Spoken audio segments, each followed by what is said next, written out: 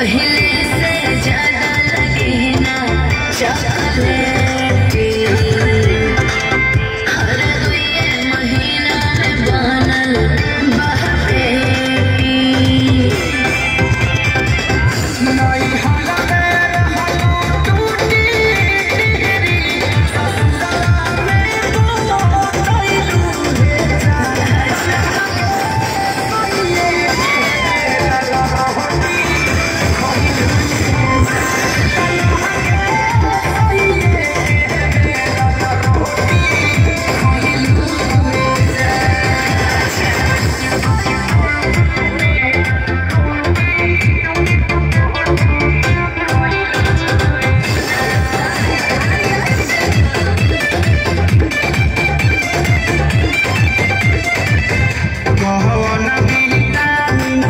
Thank you.